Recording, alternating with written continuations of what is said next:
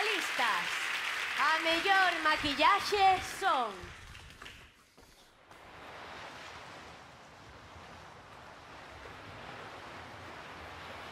Vaya Fernández, por Dead Pan Karaoke, de Ibuprofeno Teatro. Martina Cambeiro, por Entrega en Man, de Contraproducións Martina Cambeiro, por Unha inimiga do pobo, de Talía Teatro.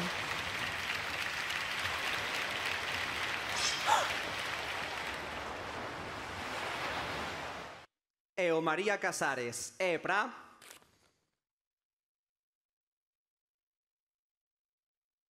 Vaya Fernández por Dead Pan Karaoke.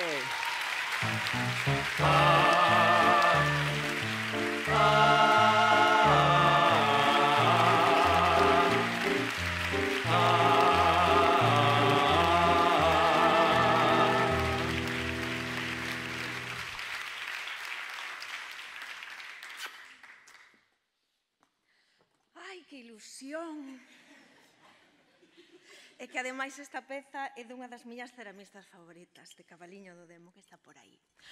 Bueno, moitísimas gracias, unha primeira, se si vos alargo a gala e me enrollo ahora. Bueno, vou intentar non facelo. Primeiro, dar as gracias a todas as persoas que fixestes posible que eu estea hoxe aquí. Dar as gracias á miña familia que me apoia en todas as tolerías que eu emprendo. Gracias, Marián Pañobre, Santiago Cortegoso, porque sodes es que sempre me dades a oportunidade e confiades en mí e me dades personaxes fantásticos para deixar voar a miña imaginación. E, estamos no 2024, mm, fai 100 anos, nacía unha perruqueira, moi boa perruqueira, por cierto, chamábase Juanita, por aquí hai xente de Cuntis que sabe de quen falo porque é miña aboa, Eh, Fixadevos, miña aboa tuvo a meu pai no 43 e despois dixo que quería ser perruqueira e decideu ir a Pontevedra a estudiar, a aprender, emprendeu, montou a primeira perruquería da contorna e foi pois, moi recoñecida. Por iso, unha muller emprendedora naquela época que xa vos imaginades que non sería nada sinxelo, eh, Despois dela veu meu pai, miña nai, algunha de miñas irmáns, vin eu. Eu hai un tempo que deixei a peluquería social para entregarme a este mundo maravilloso do teatro que me permite soñar, disfrutar e crear libremente. E, e cando deixei o que é a peluquería social, eu pensaba que deixaba parte deste legado de miña aboa.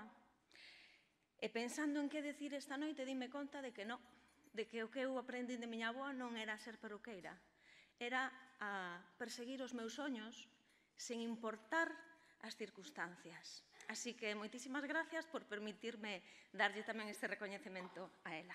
Gracias.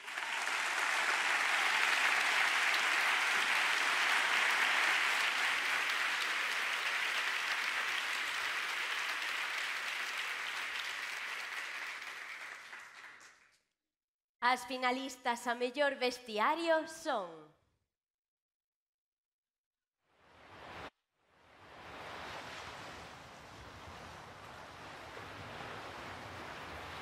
Carlos Alonso por O Auto do Castromil de Producións Teatrais Excéntricas.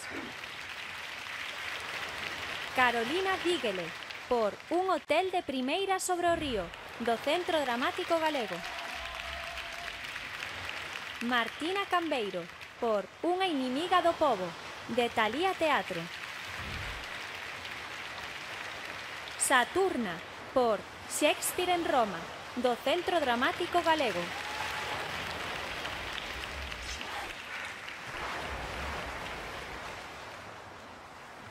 E o María Casares é pra...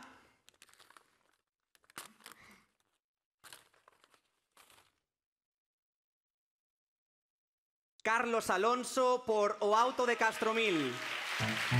Oh.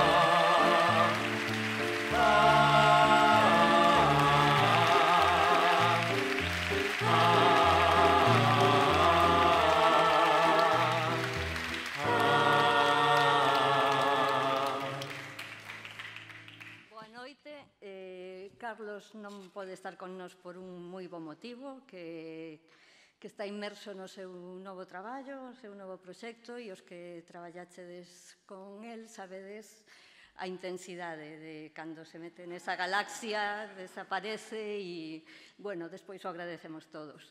El quere agradecer esta distinción, bueno, en primeiro lugar, os compañeiros, evidentemente, que que distinguir unha vez máis o traballo, porque a veces, despois de tanto tempo, parece que, bueno, como que xa o sabemos, non? Que está ben, pero el como pon a mesma ilusión da primeira vez, eh, a mesma intensidade, pois gracias por seguir vendo ese esforzo.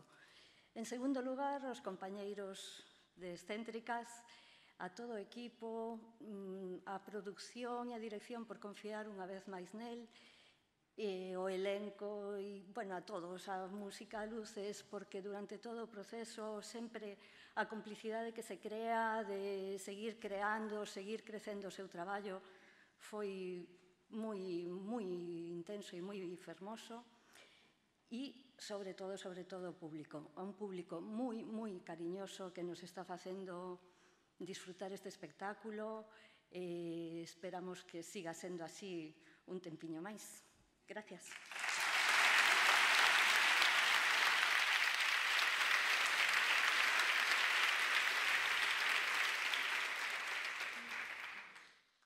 As finalistas a mellor espazo escénico son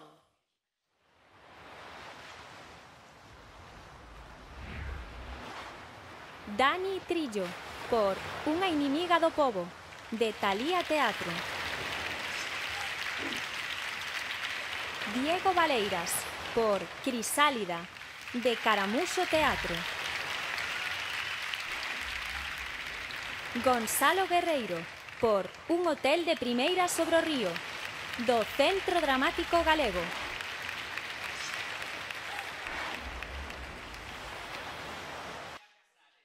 É pra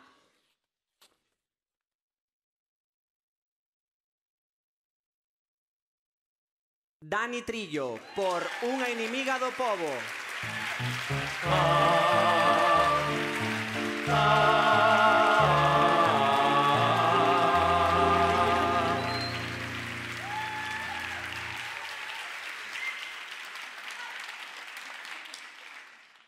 Hostia, pues estou nervioso, pensei que non. A ver, eh, gracias. Gracias por este premio. Eu quero compartilo cos meus compañeros de Talía Teatro, que non traballou comigo nunca, non o sabe, pero podo ser peor que unha fístula traballando comigo. Entón, gracias pola paciencia. Isto é parte de vos, isto é parte vosa. Quero agradecerlle tamén a Artur por apostar por formatos grandes e complicados, eh, non é fácil tomar estas decisións, el tomas, eh, permíteme pois, crear espacios así. Graciñas. E, eh, por último, quero dedicar yo a miña muller Nuria e ao meu fillo Xoel, que grazas a eles os meus días se enchen de cor dende aquela. Gracias. Gracias.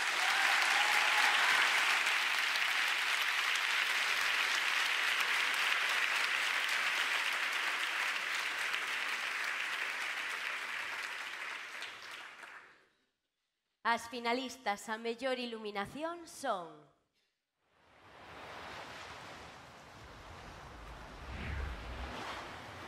Carlos Álvarez Osorio, por Hamelin, de Red Room Teatro.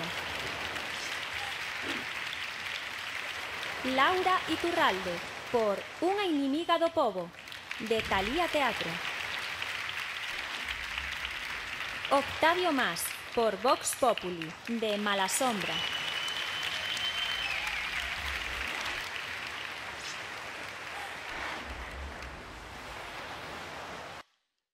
E o María Casares e pra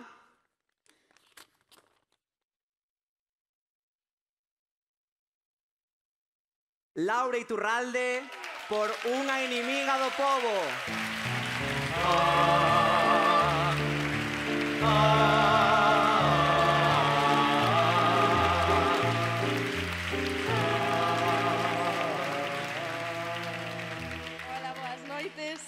Está claro que eu non son Laura Iturralde, ten tamén a ledicia de estar currando, de estar de noite de estrea, así que mendilgou este marrón.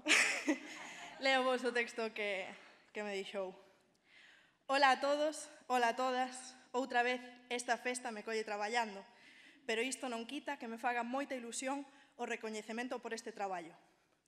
A equipa de unha inimiga do povo, quero agradecerlles a súa confianza e a acollida, Todas e cada unha de vós sodes moi especiais. Grazas. Agardo que levedes moitos premios hoxe. Estou segura de que sí. A Tito, unha vez máis, por deixarme acompañalo. Grammy Latino xa para este chaval. Sei que adicarse a unha profesión artística, a día de hoxe, implica unha gran inestabilidade e inquedanza, non só por parte dos que a vivimos, que temos a sorte de desfrutalo, senón por todo o que nos rodea. Celia, Anxo, Irene, Xavi. Gracias por apoiarme nisto, pese ás miñas infinitas ausencias. Agardo que esteades orgullosas de min, como estou de vos. Por último, quero adicar este premio ao lugar máis guai de Galicia, e pode que do mundo. Non, non, non, non, love. A Coti, a María e a Carmen. Quero vos e admiro vos todo. E a toda a xente que orbita este maravilloso proxecto. Con sorte, chegarei logo á festa e poderémonos xuntar e festexar en condicións, co que me gusta a min un sarao. Gracias á Asociación de Actores e Actrices por facelo posible e gracias a Sara por recibir este premio tan fabulosamente, non pode ser máis riquiña.